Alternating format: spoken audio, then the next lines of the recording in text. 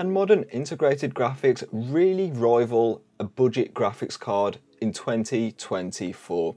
Well, to find out, I've tested the Ryzen 5 8600G's integrated graphics versus a discrete graphics card in the case of the RX 580 2048 SP.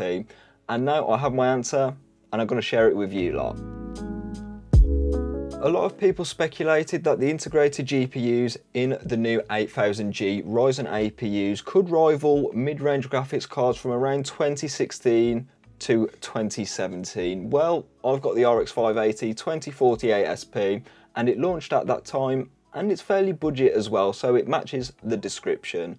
These days you can find these for around 60 odd dollars on AliExpress and to be fair, the performance from them is not actually that bad and you can see that in the video up there. However, back to this video though, I've tested the RX 580 2048 SP with a Ryzen 5 7600.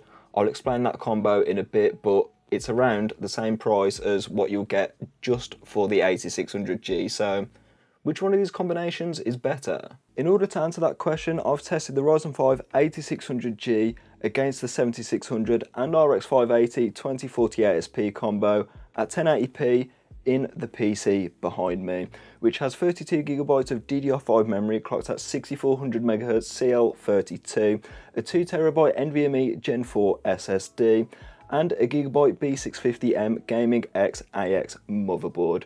The latest drivers have been installed for both the integrated graphics and the 2048 SP. I've left the integrated graphics at their stock out of the box settings, but I've undervolted, raised the power limit, and I've overclocked the memory on the RX 580 2048 SP.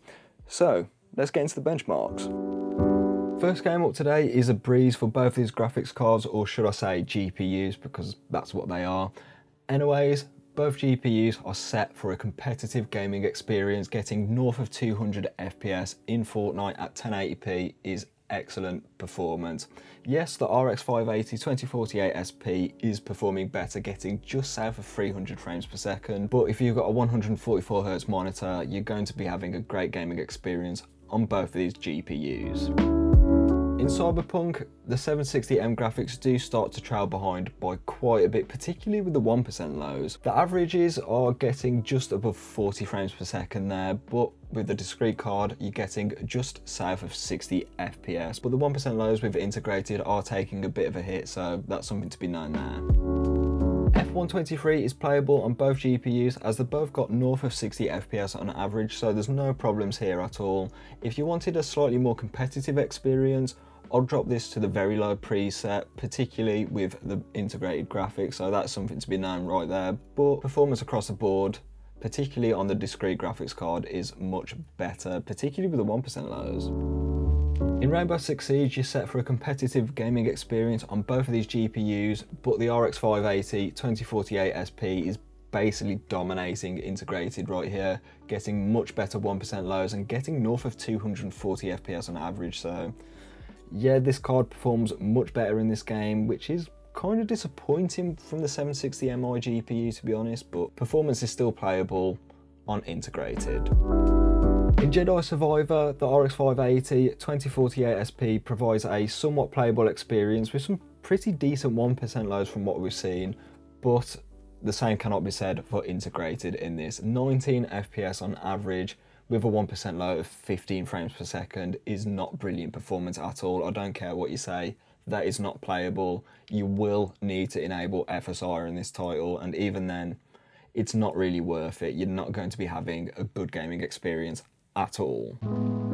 Where you will be having a good gaming experience though is Spider-Man Remastered. Even on the medium preset, the RX 580 2048 SP did a very good job getting north of 60 FPS on average with a decent 1% low at just over 50 frames per second. And to be fair on the integrated graphics, they did a somewhat decent job.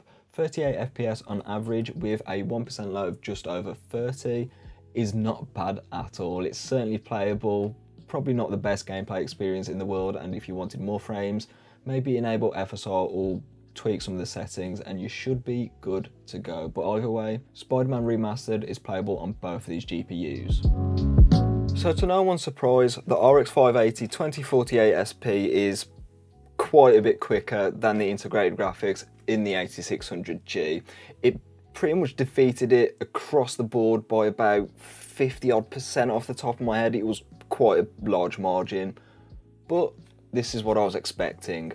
Because the 8600G is just purely integrated graphics, I think it put up quite a decent fight today and even in the esports games, you're still going to be set for a competitive gaming experience and even in games like F1 23, it's still going to get above 60 FPS as long as you pair it with some pretty fast DDR5 memory. The 8600G will struggle in newer AAA games, but is there any surprise there? These games are very hard to run and this is just an integrated GPU. In all fairness, the RX 580 2048 SP didn't fare that much better, but it was a lot more playable than integrated graphics, but it was still not ideal. Linking back to the combination of the Ryzen 5 7600 and RX 580 2048 SP, and I wanted to test this combination because it costs slightly more than the 8600G.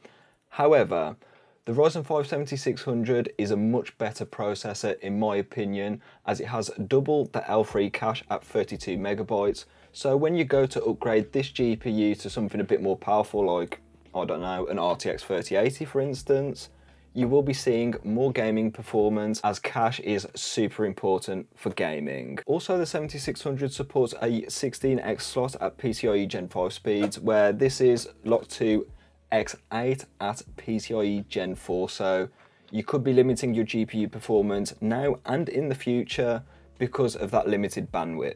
And the pricing for both these combos is not actually that far apart. The RX 580 2048 SP and the Ryzen 5 7600 combo is slightly more expensive, but if you're just saving on a GPU for later, I highly recommend this one because you're going to be getting more performance in the future. So essentially the 8600G is a pretty decent integrated graphics solution paired with a, I wouldn't say bad CPU because it's not, kind of a mid CPU but I wouldn't write off this little APU just yet. There is a target market for it, and I suspect people who are very conscious of their power consumption are going to like this APU, especially if they mainly play older titles and esports games. I think they're going to be having a great experience on this little APU while using little to no power at all. This thing barely uses any power. So you won't need to invest that much into a power supply because a 450 watt would be way more than enough for something like this. And you could even get away with like a small form factor build with the stock cooler, which is bundled with this as well. So yeah, the 8600G definitely has an audience, but it is a lot more niche than say getting a 7600 and one of these. Also, the iGPU in this runs on RDNA 3 graphics, which is the newest from AMD, whereas this is Polaris, which is slowly being phased out by AMD, so driver support might be a bit of a concern with the older graphics card. But then again, this does depend which GPU you go with.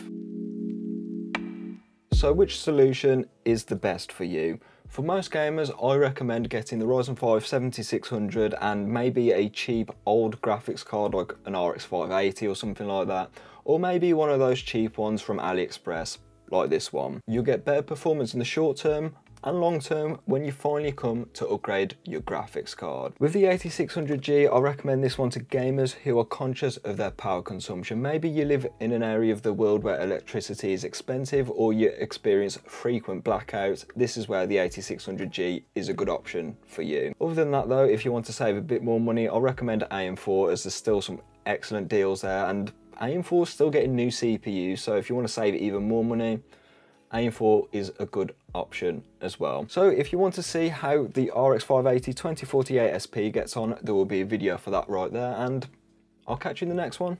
Have a good rest of your day.